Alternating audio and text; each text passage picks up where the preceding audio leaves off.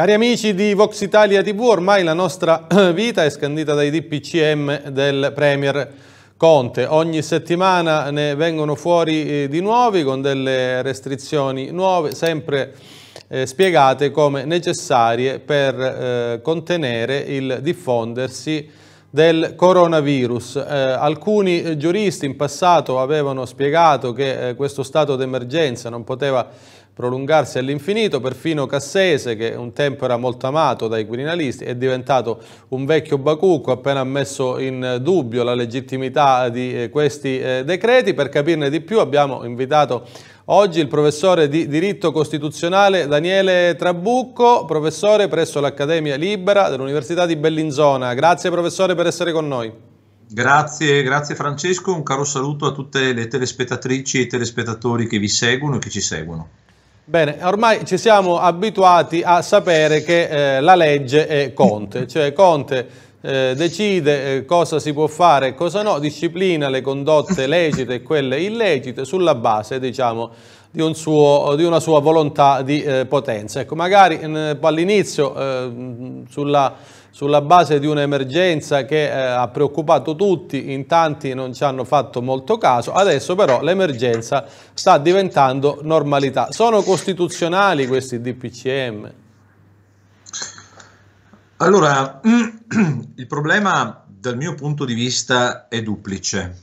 Allora, primo punto, eh, noi abbiamo eh, soffermato la nostra attenzione in questi mesi, da quando è stata dichiarata l'emergenza sanitaria a rilievo nazionale, su questi atti formalmente amministrativi ma sostanzialmente normativi del Presidente del Consiglio dei Ministri pro tempore, attualmente in carica il professor avvocato Giuseppe Conte.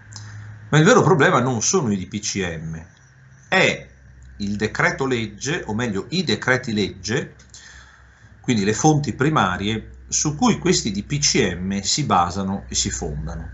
Nel senso che a partire dal decreto legge numero 19 del 2020, per arrivare all'ultimo, quello sull'obbligo non solo di portare con sé ma anche di indossare la mascherina, e che ha prorogato lo stato di emergenza fino al 31 gennaio 2021, mi riferisco al decreto legge del 7 ottobre 2020 eh, numero 125, sulla cui base poi è stato adottato sia il DPCM del 13 ottobre sia quello modificativo del 18, in realtà eh, pongono un problema nella misura in cui si utilizza uno strumento che dovrebbe contenere, appunto il decreto legge, delle misure immediatamente applicabili, proprio per fronteggiare una situazione di urgenza e di necessità che preclude il ricorso alla via della legislazione ordinaria, ha efficacia differita. Beh, questa è una contraddizione in termini.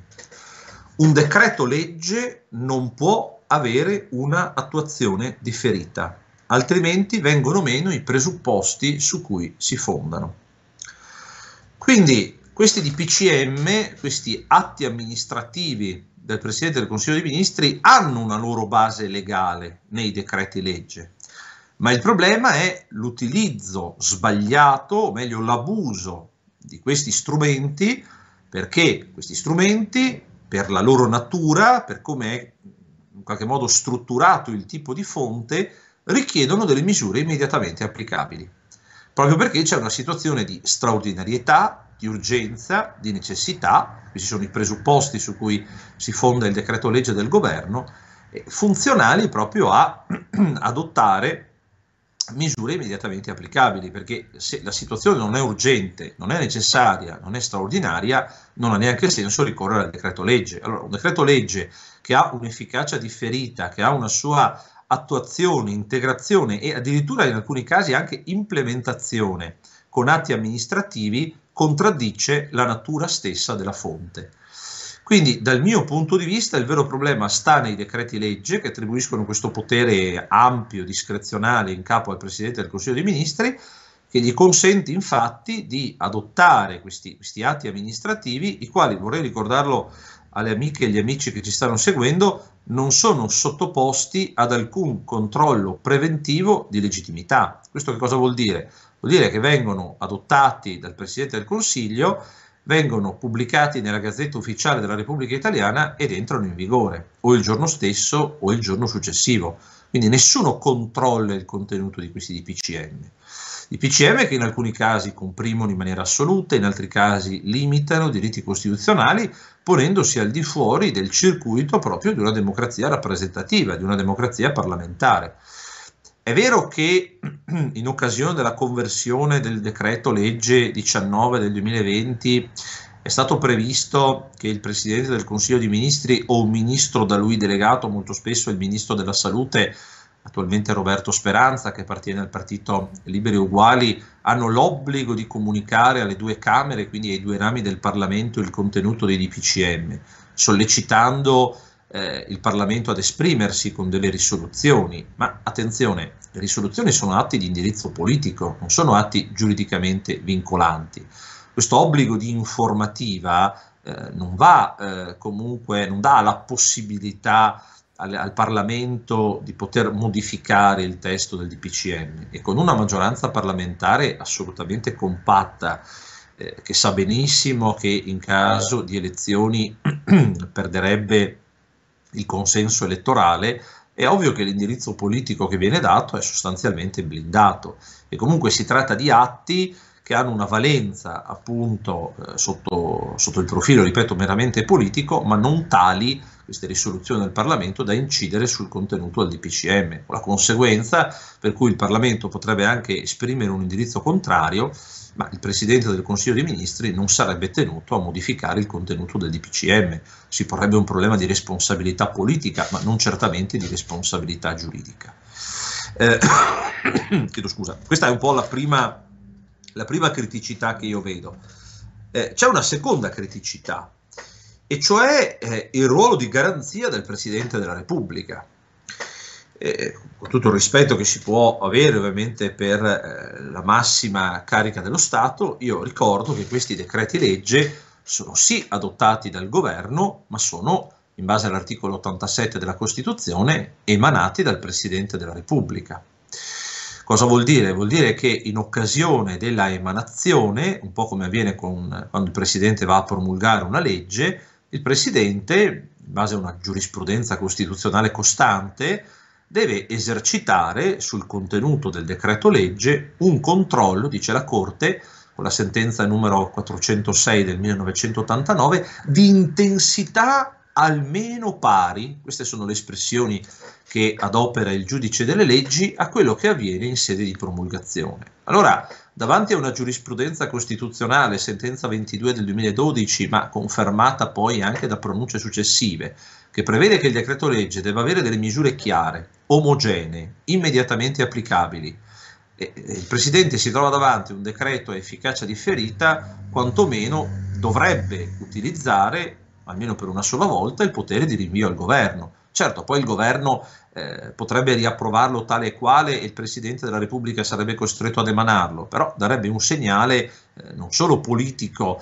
ma soprattutto di eh, garanzia eh, degli equilibri costituzionali che in questo momento non, non c'è. Eh, noi viviamo formalmente in uno Stato di diritto che conosciamo eh, in quanto fondato sul principio della separazione dei poteri, eh, eppure in realtà il nostro Stato di diritto sta diventando sempre più una finzione, perché i poteri dello Stato sono sostanzialmente allineati, il che è ovviamente pericoloso perché potrebbe, uso il condizionale, portare nel tempo con un consolidamento dell'emergenza a delle derive di tipo autoritario Ovviamente nessuno auspica una cosa di questo tipo, però il rischio è che in nome della tutela della salute, eh, in nome della biosicurezza, eh, i cittadini siano disposti, lo scriveva molto bene Agamben, eh, filosofo e saggista contemporaneo, ad accettare eh, limitazioni e compressioni di diritti fondamentali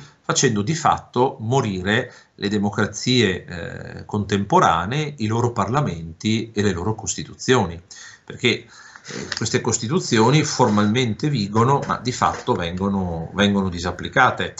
Eh, l'obiezione che viene mossa da alcuni costituzionalisti, ma le Camere hanno la possibilità comunque eh, di non convertire il decreto legge, è vero, Però attenzione che eh, innanzitutto sul disegno di legge di conversione il governo pone la questione di fiducia legittimamente, quindi blinda in qualche modo il, il contenuto del decreto, perché se le Camere non dovessero convertirlo a quel punto là il governo avendo posto la questione di fiducia avrebbe l'obbligo di dare le dimissioni. Voi ve la vedete, l'attuale maggioranza parlamentare eh, non convertire un decreto legge con il rischio poi di aprire una eh, crisi di governo di natura extraparlamentare con scenari ipotetici anche di elezioni. È ovvio che voteranno e voteranno sempre e comunque e comunque il controllo che fa il Parlamento in occasione della conversione eh, è un controllo che arriva eh, in qualche modo con un testo già preconfezionato in cui le possibilità di modifica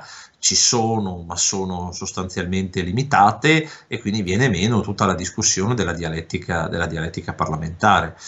Eh, un Parlamento che converte un decreto legge eh, che attribuisce in capo al Presidente del Consiglio dei Ministri pro tempore un potere così ampio che non è sottoposto a alcun controllo preventivo di legittimità, eh, sì, potremmo dire che viene rappresentata la finzione kelseniana della rappresentanza politica, però poi di fatto il Parlamento viene, si autoesautora nel momento in cui attribuisce questo potere in, ca- in, in, capo a Conte. Insomma. Prego. Lei prima, eh, prima diceva ehm, il problema è che eh, saltano eh, tutti i controlli. C'è eh, un potere che non è più controllato da nessuno sulla, sulla scia di questa emergenza. Ma paradossalmente, se domani Conte dovesse eh, prendere un colpo di sole e decretare che possono uscire solo quelli con i capelli biondi, il sistema non avrebbe più armi di difesa di fronte a una presa di posizione eh, chiaramente diciamo, stravagante?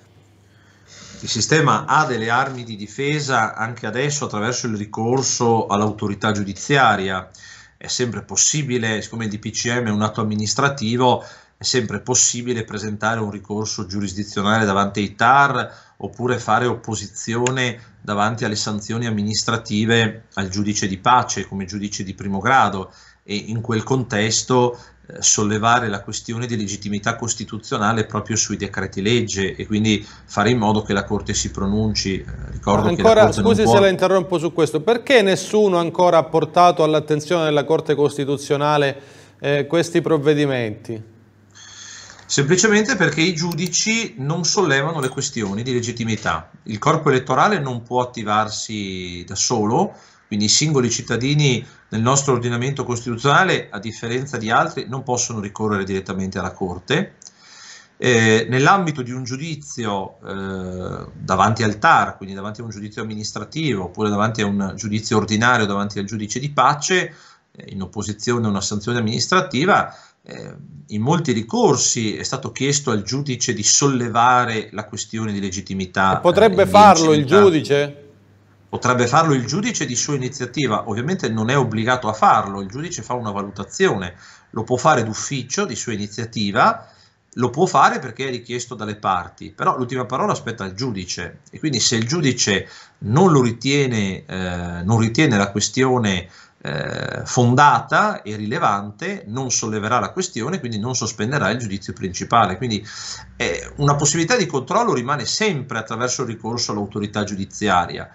Eh, però è anche vero, come dicevo prima, che qui c'è veramente il pericolo di un allineamento di poteri perché, almeno da quanto mi risulta, fino ad oggi questioni in via incidentale davanti alla Corte non sono state sollevate. E siccome la Corte non può attivarsi d'ufficio, cioè non può attivarsi di sua iniziativa, deve esserci un giudice, un giudice civile, un giudice penale, un giudice amministrativo, un giudice tributario, un giudice militare, che in qualche modo eh, sospenda il giudizio che pende davanti a lui e con un apposito atto che si chiama ordinanza di rimessione porti la questione davanti alla Corte, solo in quel momento, indicando poi gli articoli del decreto legge gli articoli della Costituzione che il decreto legge viola, dal mio punto di vista, il secondo comma dell'articolo 77. Eh, solo a quel punto là la Corte può intervenire, però la Corte in qualche modo attivarsi d'ufficio non può farla, deve essere sollecitata dal giudice. È il, nostro, è il controllo di costituzionalità che è previsto dal nostro ordinamento. Certo, un giudice può, eh, davanti a un ricorso in opposizione una sanzione amministrativa, un giudice di pace può annullarla, eh, un giudice amministrativo può annullare un DPCM anche senza sollevare la questione di legittimità, perché ritiene ad esempio lui stesso che il DPCM si ponga in violazione di legge, quindi addirittura eh, in violazione de- dello stesso testo costituzionale. Però è un'eventualità che finora non si è, non si è verificata eh, sia durante la prima fase dell'emergenza sanitaria, sia durante questa fase, che in realtà è sempre la prima fase prolungata, quindi non c'è stata di fatto una fase 2, eh, tutti i ricorsi a, ai tribunali amministrativi regionali hanno sostanzialmente accolto in prima battuta, in prima istanza, eh, l'impianto sotteso eh, alle ordinanze regionali e ai provvedimenti, ai provvedimenti, del governo, in particolare del Presidente del Consiglio dei Ministri. Eh, quindi il problema è che un controllo c'è, successivo c'è, eh, quindi manca un controllo preventivo, ma c'è un controllo successivo. Eh, il problema è che questi giudici eh,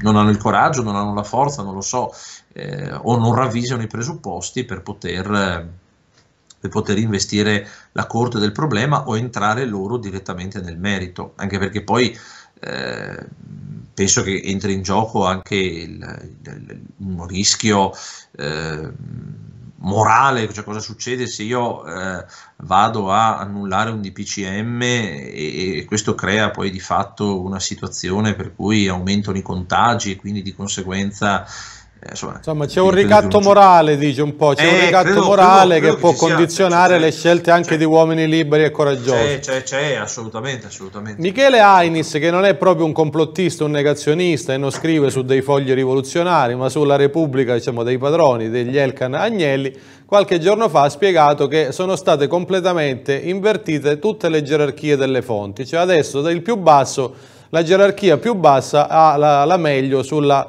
gerarchia eh, più alta e che questo stato di emergenza può durare per un tempo definito, mentre ha l'impressione che questo governo voglia far durare l'emergenza all'infinito. Cioè esistono dei limiti alla dichiarazione dello stato di emergenza o noi possiamo vivere dentro un'emergenza continua?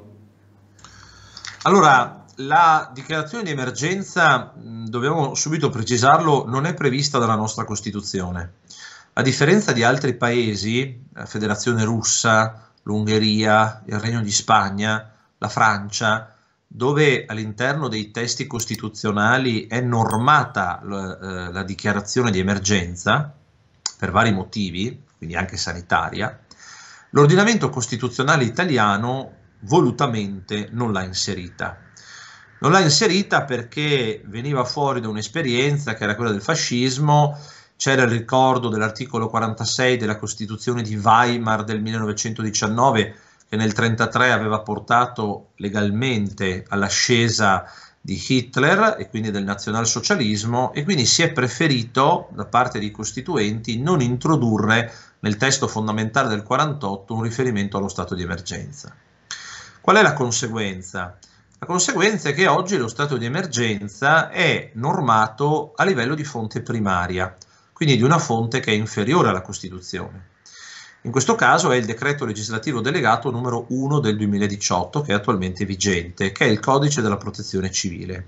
Ora, l'articolo 24 di questo decreto prevede che la dichiarazione di emergenza sia deliberata dal Consiglio dei Ministri, quindi dalla componente collegiale del governo, ovviamente di rilievo nazionale, sia pubblicata nella Gazzetta Ufficiale, entri in vigore e il comma quinto eh, vieta, preclude qualunque controllo preventivo di legittimità. Quindi il Parlamento non è coinvolto nella dichiarazione dello stato di emergenza.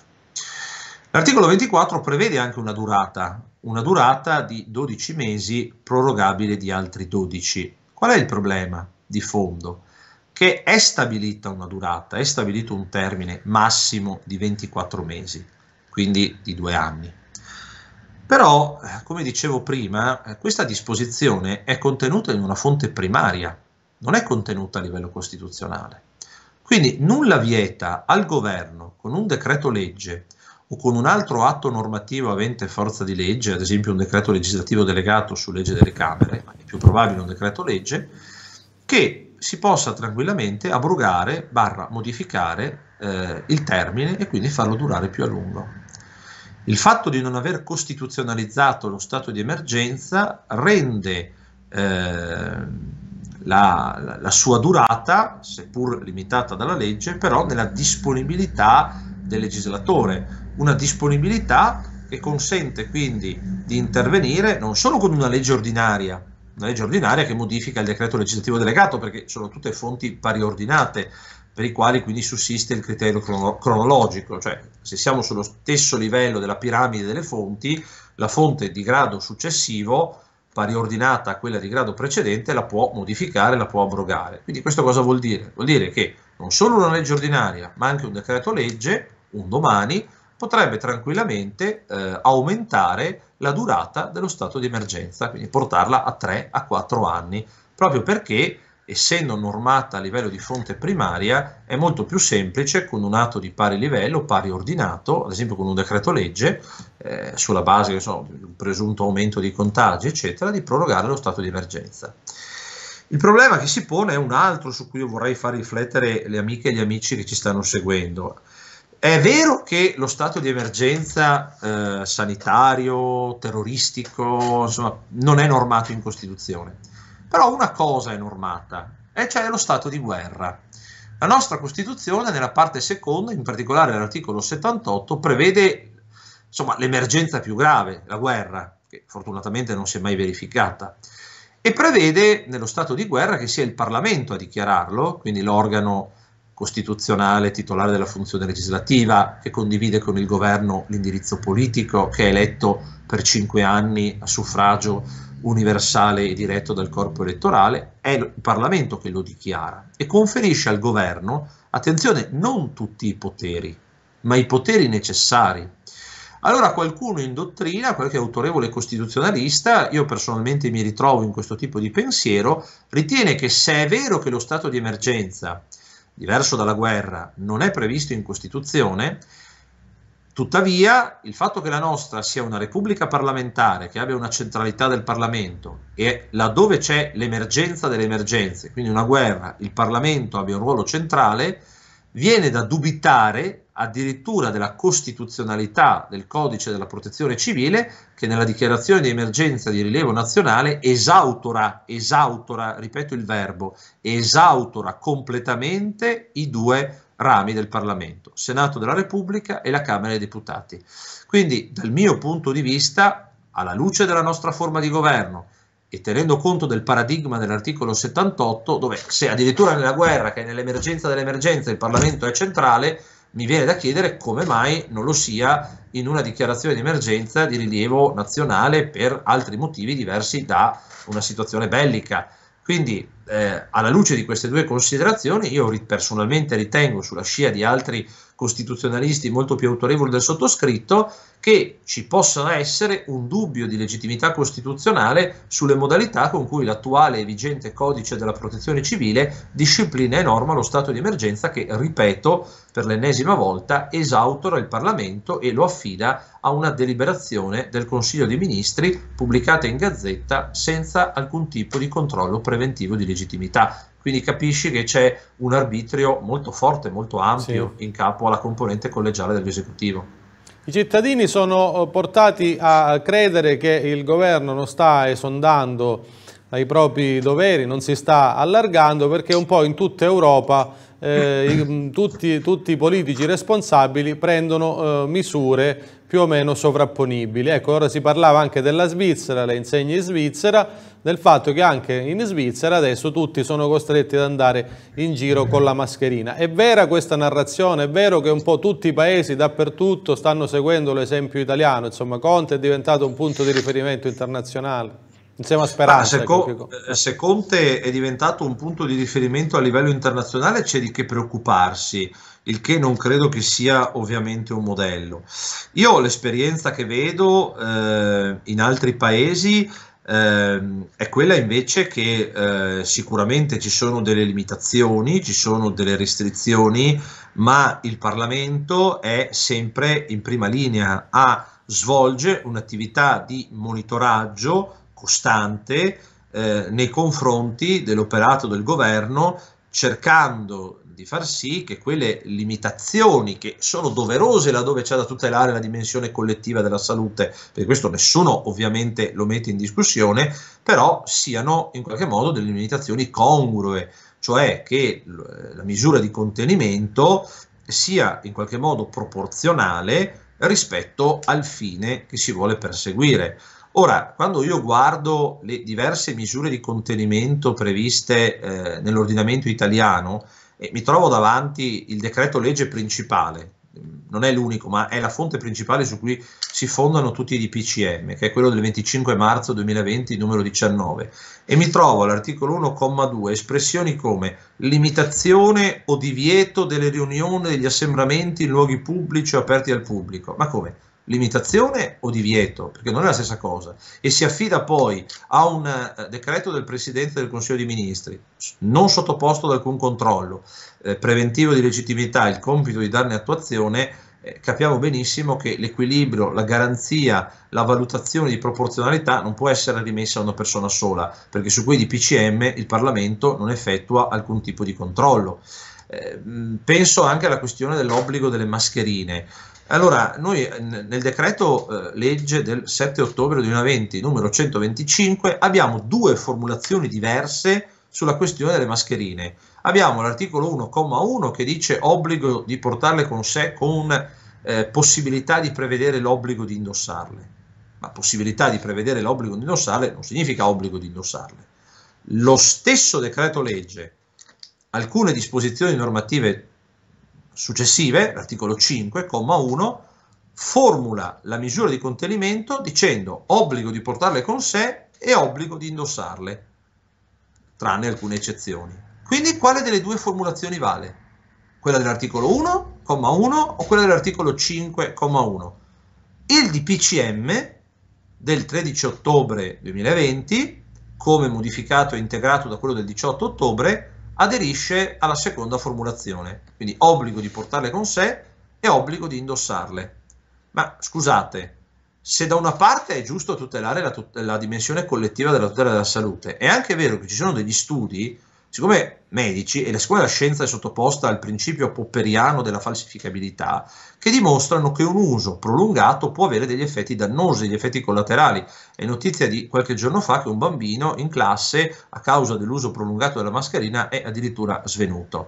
Allora, se sono tollerabili dei sacrifici sulla salute individuale, la Corte è chiara, la Corte Costituzionale è chiara, questi sacrifici devono essere ovviamente limitati nel tempo e gli effetti devono essere degli effetti controllabili. Se io mi trovo in una situazione per cui un bambino addirittura sviene durante la lezione perché ha un utilizzo prolungato della mascherina, eh, c'è qualcosa che non funziona, perché a quel punto lì la dimensione collettiva mi va a comprimere la tutela individuale della salute.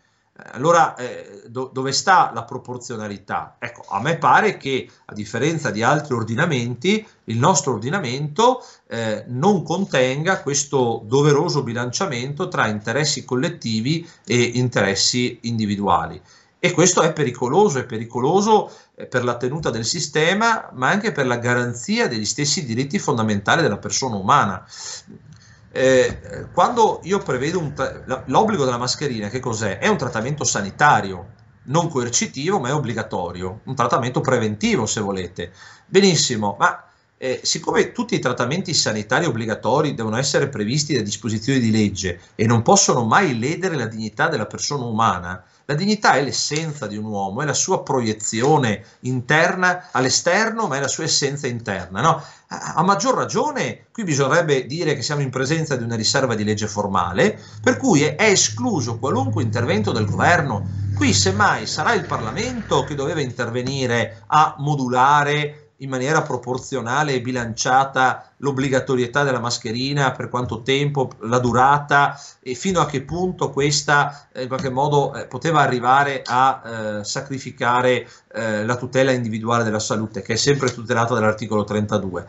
Quindi anche il fatto di utilizzare un decreto legge per imporre queste forme di trattamento sanitario obbligatorio non coercitivo, dal mio punto di vista, viola una riserva di legge formale che è insita nell'articolo 32, perché se questi trattamenti sono previsti ma non possono ledere la dignità della persona umana, è ovvio che quando hai davanti la dignità di ogni uomo e di ogni donna, la dialettica parlamentare, il confronto tra una maggioranza e una minoranza diventa fondamentale, è insito nelle democrazie contemporanee, non può essere relegato a un atto eh, del, del governo e poi trovare attuazione attraverso un atto amministrativo non sottoposto ad alcun controllo preventivo di legittimità. Cioè, noi stiamo arrivando, e veramente mi avvio alla conclusione, a quello che un collega che stimo dell'Università di Cassino dice è il paradigma della non libertà, cioè eh, lo Stato di diritto per cosa si caratterizza? Per un principio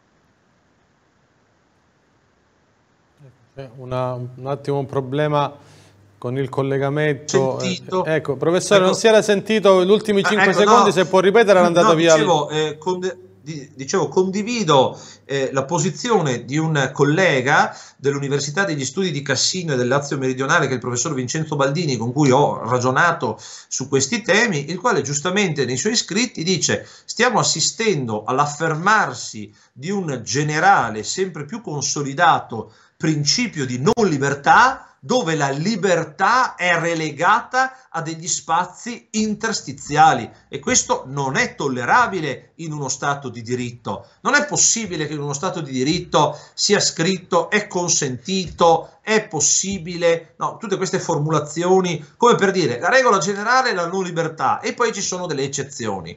Ma non funziona così, non funziona così, non può funzionare così voglio dire, ci, eh, siamo tanto a criticare eh, sistemi eh, iperpresidenzialistici o che hanno degli elementi di autoritarismo come quelli della federazione russa. Bene, la Costituzione russa del 1993, con le modifiche, da ultimo quella del marzo del 2020, è molto più garantista della nostra, non solo perché costituzionalizza lo stato di emergenza, ma questo lo fanno anche altre costituzioni, ma perché prevede un limite, cioè che lo stato di emergenza, alcuni diritti fondamentali, supremi della persona non possono essere né limitati né compressi. Poi sta ovviamente al buon senso e alla responsabilità delle cittadine e dei cittadini eh, utilizzare insomma, le, le, le, forme, le modalità per evitare eh, contagi o comunque ehm, evitare una diffusione, una diffusione del, dell'agente patogeno. Addirittura in Russia, che eh, tanto accusiamo di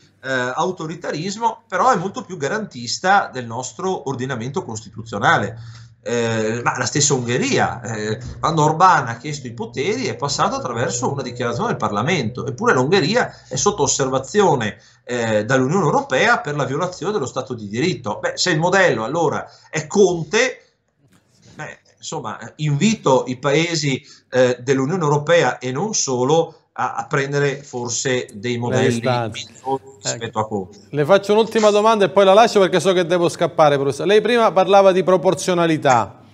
Eh, che insomma la, la, la, Costituzione deve sempre prevede, con, eh, prevede sempre diciamo, eh, deve sempre capire, bilanciare quale sia il vantaggio e lo svantaggio rispetto diciamo, ad una scelta, ecco, senza mai sacrificare completamente un punto di vista rispetto a ad un altro. No, questo lo sappiamo anche noi giornalisti perché tra il diritto ad informare e quello a non diffamare si, si rimane sempre, si cammina sempre su un filo. Questo dovrebbe valere a maggior ragione anche nel caso di questa emergenza. Ora, considerato che perfino l'OMS ci ha detto che il tasso di letalità di questo virus non è molto superiore a quello di una normale influenza, considerato che oggi Massimo Fini sul fatto diceva eh, giustamente insomma, che stiamo rinunciando a vivere, che mai nella storia, neppure di fronte alla peste, si sono prese delle scelte così gravi come il coprifuoco, è legittimo ritenere che tutta la narrazione che è stata costruita dai media, su un piano internazionale naturalmente, non solo in Italia, sia obiettivamente sproporzionata rispetto al reale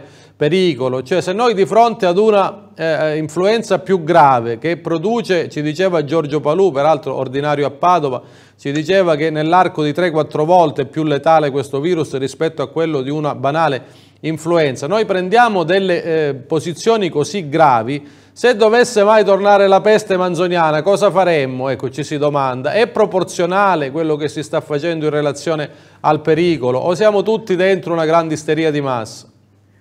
Se dovesse tornare la peste manzoniana non oso pensare a quello di cui proprio parlava Manzoni, che tocca le mura del Duomo di Milano e viene ucciso dalla folla perché viene ritenuto un untore. Non vorrei arrivare a, a, questa situazione.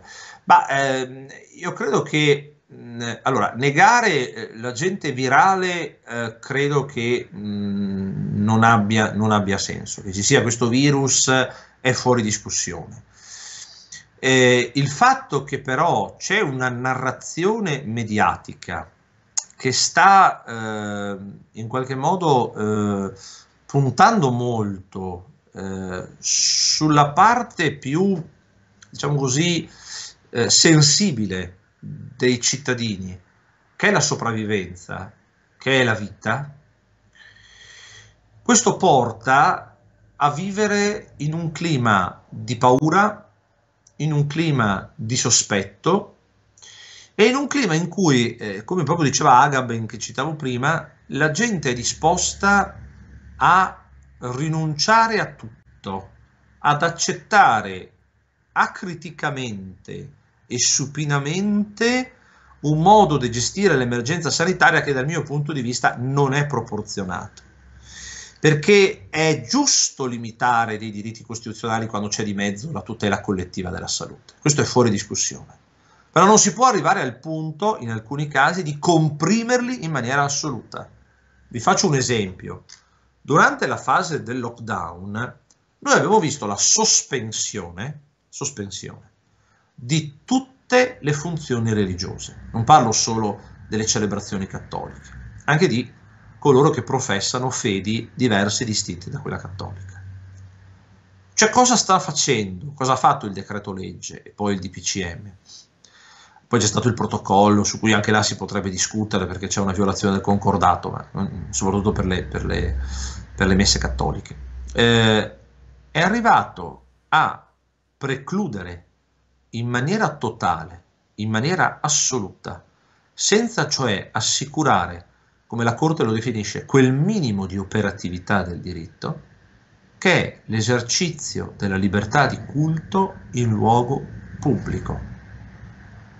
Eh, l'articolo 19 della Costituzione è vigente, è chiaro, ciascuno può professare non solo in privato, ma anche in pubblico la propria fede, quindi attraverso la partecipazione al culto, propagarne le idee, eccetera. Se io sospendo totalmente le funzioni religiose, io qui ho davanti l'articolo 1,2 lettera H del decreto legge 25 marzo 2020 numero 19, prima che entrasse in vigore ad esempio il protocollo, eh, parla proprio di sospensione delle cerimonie civili e religiose, parlava di limitazioni poi dell'ingresso nei luoghi di culto. Cioè cosa vuol dire? Vuol dire che io sospendo, se sospendo il culto di qualunque fede, io sospendo la dimensione della proiezione dell'individuo pubblica del culto stesso, quindi la sua possibilità di professare la fede.